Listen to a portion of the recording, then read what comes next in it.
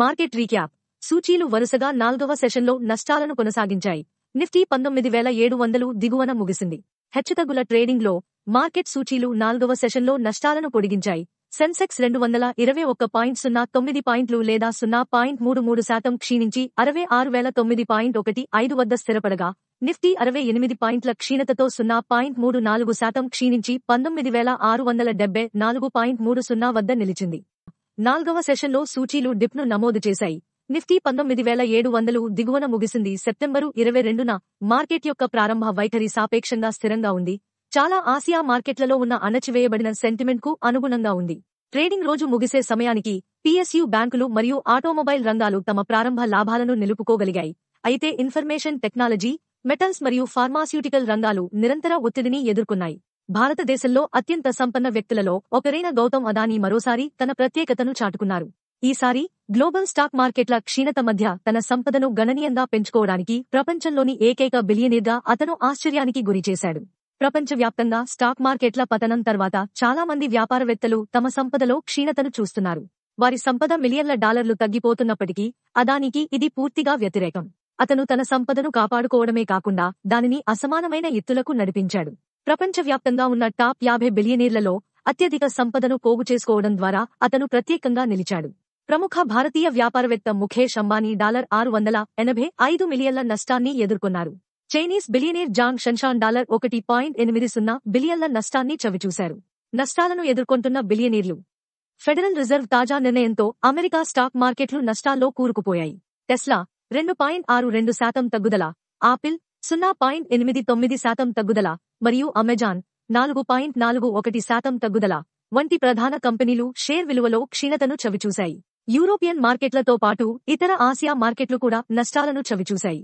అదాని యొక్క విశేషమైన లాభం ఈ సంఘటనల క్రమంలో Jeff Bezos Elon Musk Larry Ellison Larry Page Sergey Brin మరియు బెర్నార్డ్ ఆర్నాల్డ్ మార్క్ జుకర్బర్గ్ వంటి ప్రముఖ బిలియనీర్లు తమ సంపదలో గణనీయమైన క్షీణతను నమోదు చేసుకున్నారు.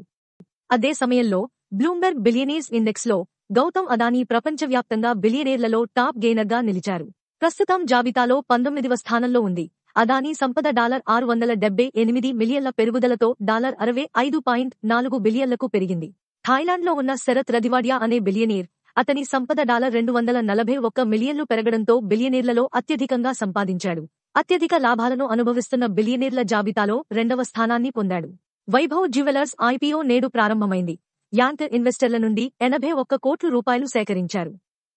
ఆంధ్రప్రదేశ్లో ప్రధాన కార్యాలయం ఉన్న Manoj Vaibhav gems and jewellers ఈ రోజు సబ్స్క్రిప్షన్ల కోసం తెరవబోతున్న ఇష్యూ ప్రారంభానికి ముందు సెప్టెంబర్ ఇరవై ఒకటిన ఎనిమిది యాంకర్ ఇన్వెస్టర్ల నుండి ఎనభై ఒక్క రూపాయల ఆరు పైసలు కోట్లను సేకరించింది. పెట్టుబడిదారులలో Quantum State Investment Fund Tano Investment Opportunities Fund Nexus Global Opportunities Fund Coeus Global Opportunities Fund Neomile Growth Fund AG Dynamic Funds Chhattisgarh Investments మరియు ఎమినెన్స్ గ్లోబల్ ఫండ్ ఉన్నాయి.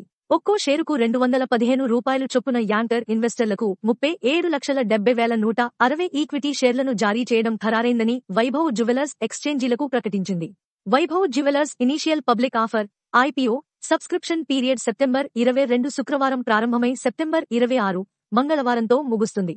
పబ్లిక్ ఆఫర్ కోసం జ్యువెలరీ కంపెనీ ఈక్విటీ షేరుకు రెండు వందల నాలుగు రూపాయలు మరియు రెండు వందల పదిహేను రూపాయలు మధ్య ధరను నిర్ణయించింది.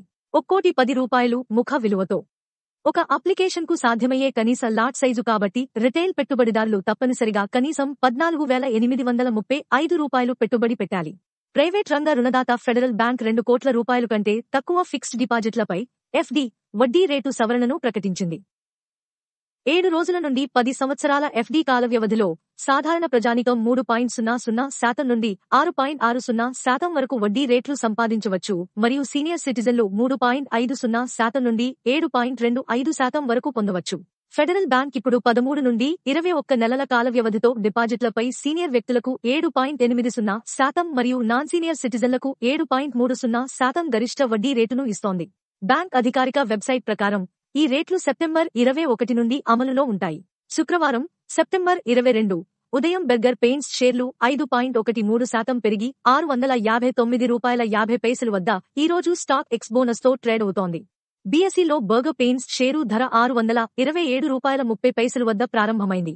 అయితే రోజు గడిచే కొద్దీ కంపెనీ షేర్లు ఊపందుకున్నాయి మరియు ఇంట్రాడే గరిష్ట స్థాయికి ఆరు వందల నలభై మూడు పాయింట్ ఐదు సున్నా రూపాయలను తాకాయి.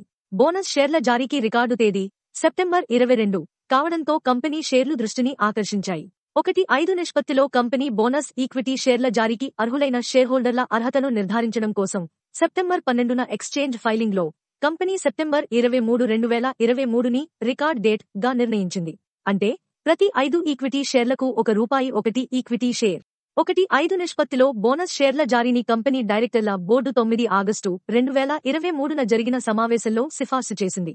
దీనికోసం కంపెనీ సెప్టెంబర్ ఎనిమిది రెండు వేల ఇరవై మూడున పోస్టల్ బ్యాలెట్ ద్వారా వాటాదారుల ఆమోదాన్ని పొందింది. స్టాక్ మార్కెట్కి సంబంధించిన గైడెన్స్ మరియు సలహాల కోసం ఇక్కడ ప్రొవైడ్ చేస్తున్న వాట్సాప్ నంబర్కి ఇప్పుడే మెసేజ్ చేయండి. అలాగే లేటెస్ట్ స్టాక్ మార్కెట్ అప్డేట్స్ కోసం ఈ వీడియోని లైక్ చేసి ఛానల్ని సబ్స్క్రైబ్ చేయడం మర్చిపోకండి.